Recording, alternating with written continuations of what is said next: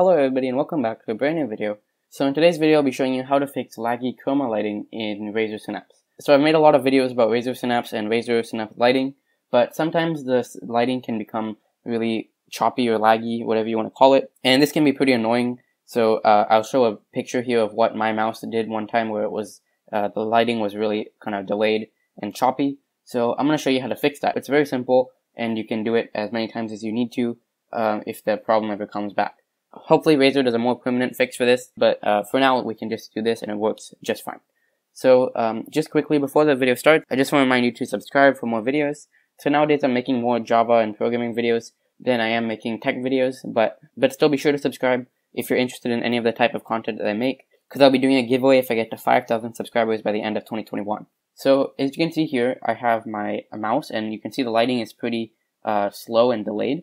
So the way to fix this is very simple.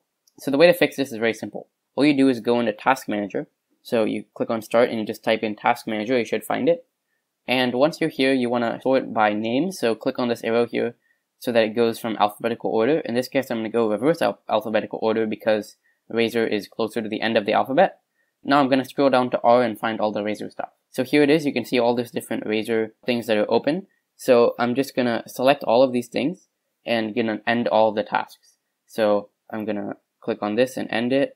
I'm ending everything that I see that says Razer, I'm just going to end it. So we've got all the Razer stuff uh, that has been ended. So we've got an error here because we've closed everything in Razer Synapse. Now you want to unplug your mouse. So I just unplug my adapter or my dongle for my mouse and I turn off my mouse. Now I'm going to go to Windows and search up Razer Synapse and reopen it. So now you can see the software is, is uh, opening up again. So if you give it a few minutes, it'll start and then uh, once it starts and your mouse gets connected, the lighting should be much smoother. So you can see here I have my mouse connected back and the, the lighting will be a bit choppy for a while as the you know program boots up and gets kind of warmed up. A minute or two, the lighting will become very smooth, just like uh, how you expect it to be.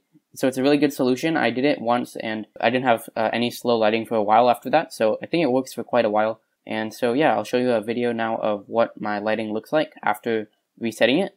And you can see it's much more smoother than it was before. So yeah, I hope you enjoyed the video. If you did, make sure to subscribe. Thank you for watching. I'll see you in the next video.